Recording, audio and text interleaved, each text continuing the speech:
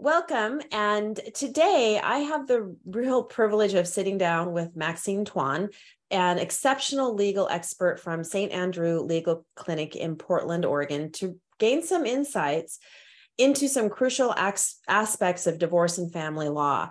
And with her vast experience guiding clients through this really intric- intricate process, Maxine and I will discuss her invaluable heads up advice for those who are embarking on their really unique journeys. And furthermore, she can also shed light on the significance of building a strong divorce team. And she'll also share some valuable tips on what to consider when selecting professionals, such as an attorney, a divorce financial planner, mediator, etc. And lastly, we'll explore a poignant chapter in her career where she recounts a memorable case or situation that she runs into that has impacted her. So thank you, Maxine, for joining me today.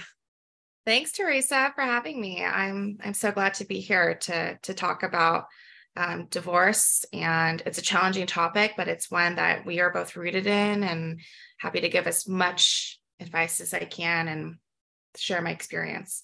I appreciate that.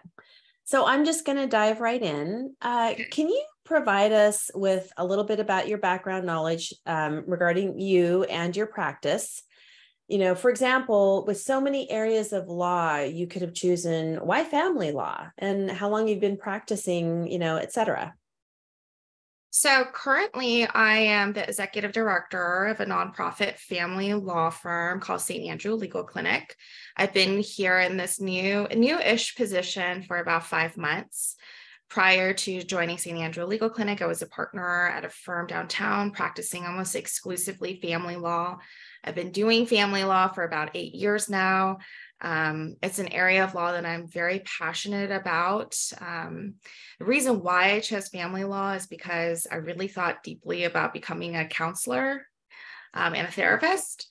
And um, I, I find that family law marries the intellectual part of my brain that likes, um, you know, negotiations and settlement and law and being in court with also the really compassionate aspects of you know being there for my clients being an advocate understanding the personal dynamics that occur um, well that exist for families going through a transition um, sharing sort of the personal space and just sort of being an advocate for a really challenging area a challenging time for a person's life those two you know family law sort of marries those two areas really perfectly for me mm-hmm. um, and so you know, I, I plan to do it for a really long time. And that's why that's why I'm a family law attorney.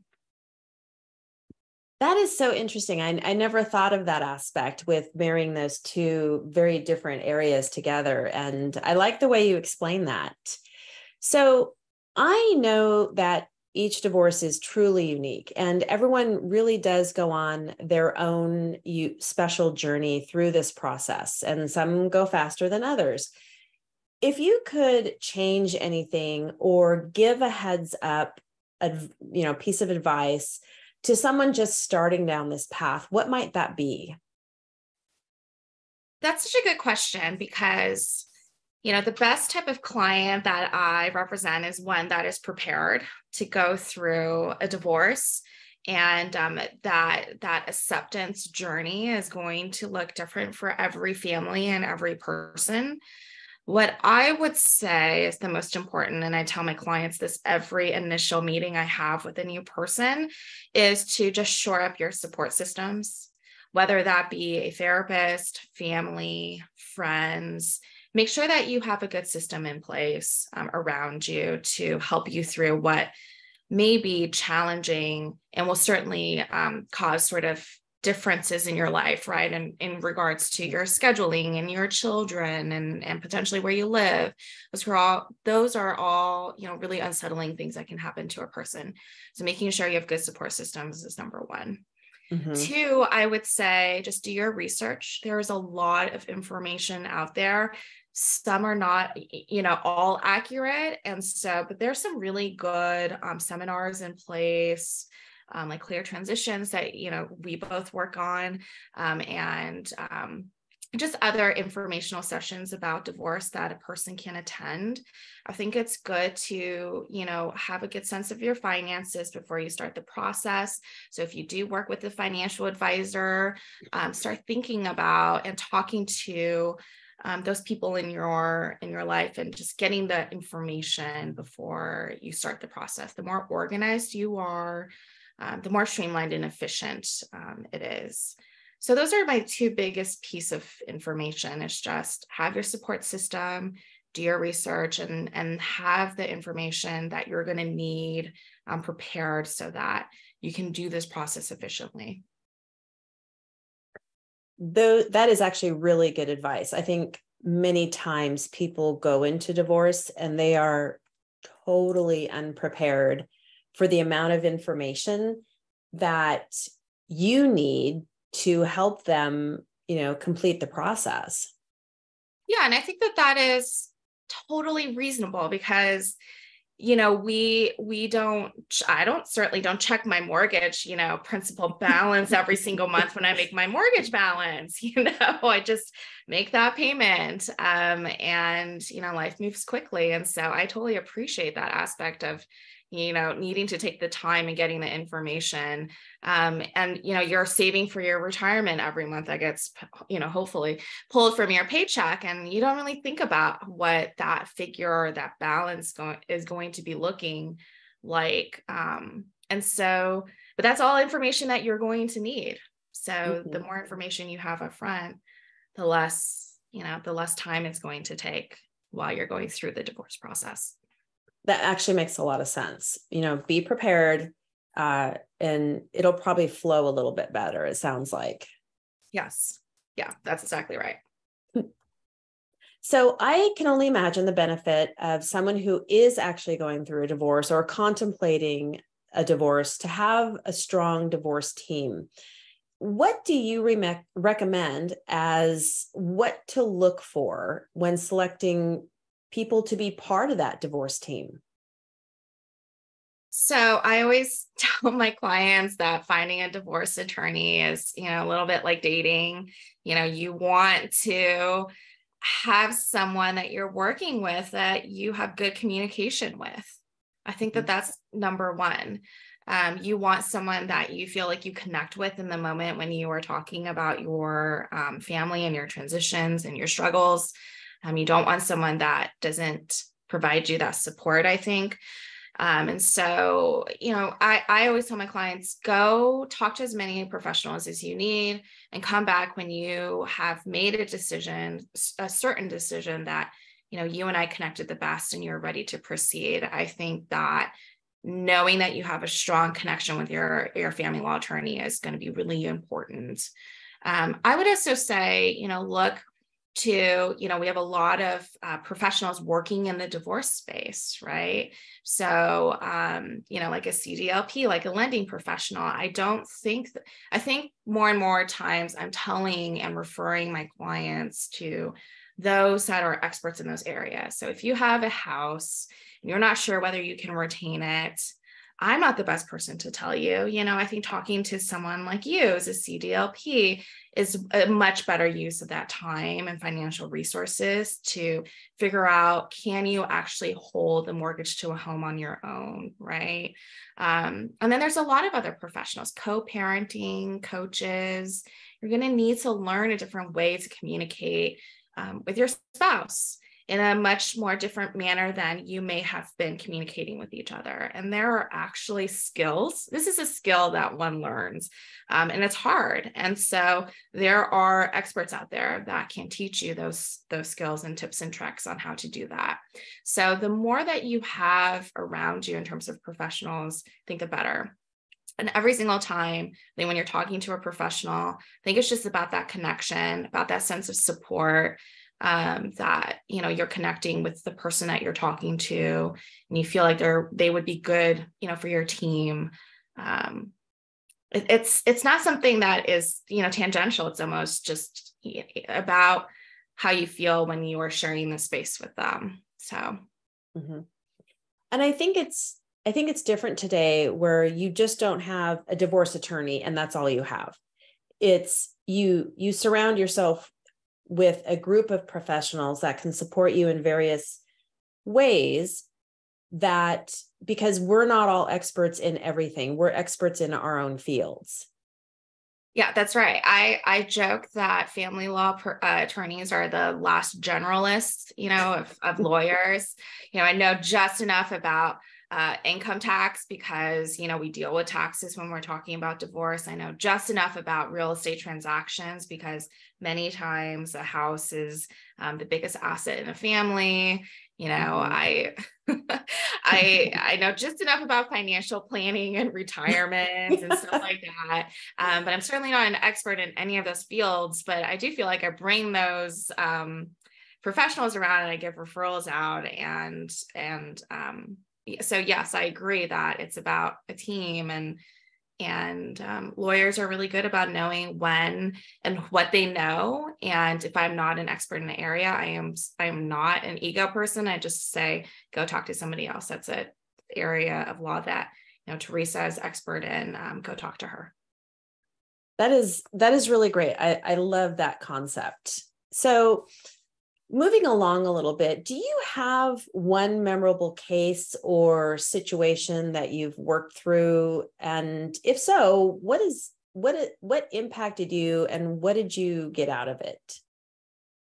Yeah, so I I don't know that I have one specific case that is memorable, but um, something that I find the most rewarding in my legal practice is representing children in cases.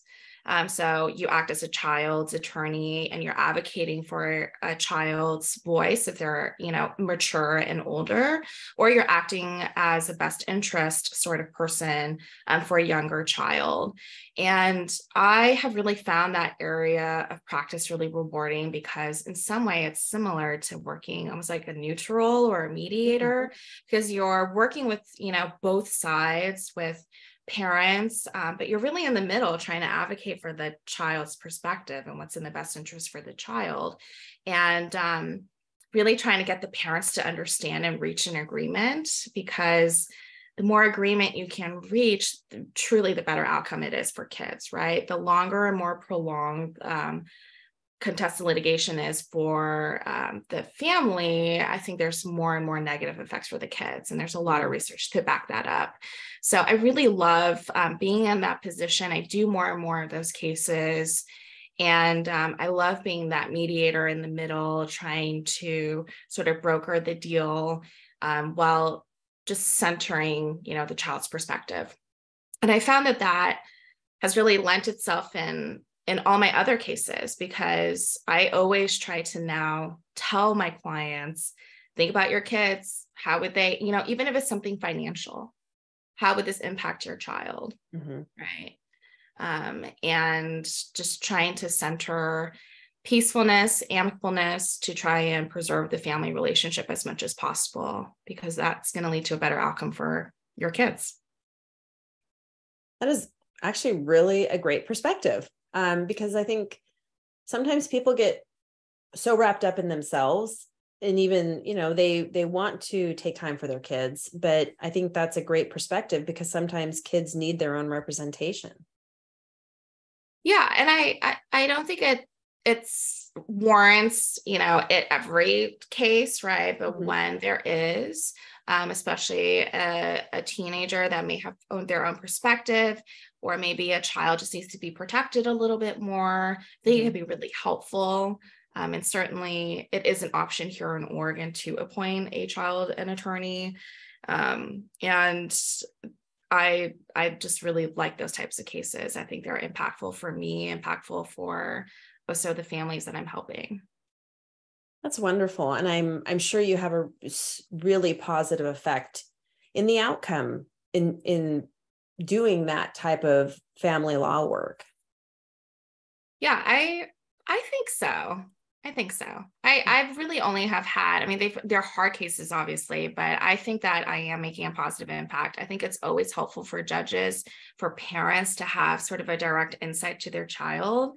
Um, and again just to echo what you said to take yourself out of the picture you know and really center the kids in it is is for me what what it's all about so That's amazing. Oh my gosh. So I really appreciate you sharing your valuable time with me today. And I really respect you as an outstanding family law professional in our Portland, Vancouver area. So, um, where would someone who might benefit from your expertise go to learn more about you? So they could go to my website. It's um, St. Andrew uh, legalclinic.org. Um, they could learn more about me through my bio.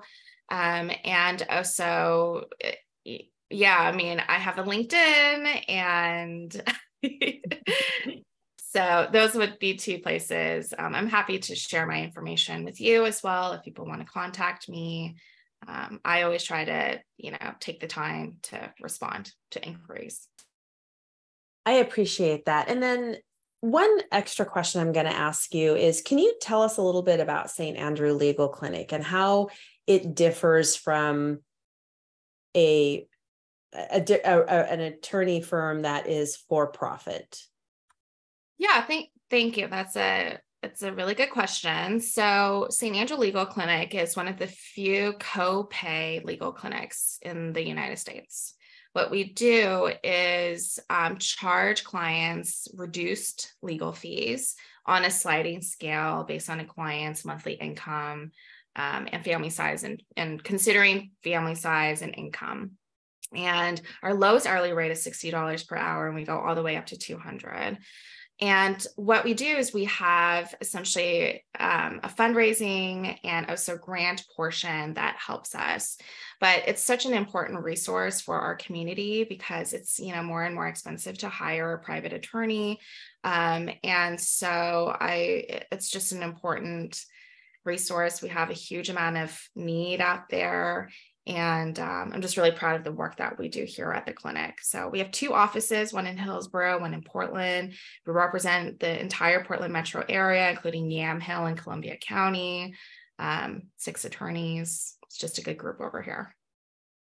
I think that is an amazing thing that you all do. You are correct. The divorce is very expensive and not everybody can afford some of the firms that are out there. And I love that um, you do this work because there are folks that need help that can't afford that. Yeah. And, and I think it's really equitable the way that we're doing it, you know, on a sliding scale basis. If you earn less, then, you know, we charge you a less hourly rate. And if you earn a little bit more, you know, you pay a higher, higher hourly rate. I think that's really about our mission is access to justice, equitableness, um, in terms of you know access to a legal representation, legal counsel. Um, we are also restarting our night clinic. so night clinic is you know a thing that we host every Wednesday night in our Portland office. We have 200 plus volunteer attorneys in the Portland metro area that comes together to give 30 minute legal consultations to clients sometimes, well, many times, the clients that come and see us through night clinic, it's their only legal advice that they can afford. So it's just a critical resource um, in our community. And um, it's so great to, to be doing this in person again and to be connecting with our volunteer attorney too. So that is an amazing group of volunteer attorneys to support this. Yes. Yeah. We're so fortunate. I think you know, attorneys in general are helping people, and you really see that when they come and take their time, um, especially at night after a long day of work, to still help people. Um, we're just, yeah, we're really fortunate. That's amazing. Well, I am so glad you shared that with me. I did not know that you were opening that back up again. So that's really great. Yeah. Do you yes. have one final thought that you would like to leave with today?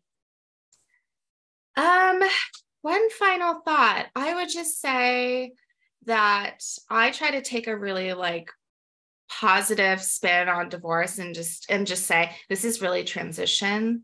And, that, and what that means is divorce is going to lead you to a better place, right? You've made a decision for a reason, and it doesn't have to be this big bad thing. It could be something really positive. It can bring people independence. It can bring people a lot more peace um, you know, if you're not getting along and you're separating, your kids could be in a better place by being shielded a little bit more by co parent conflict.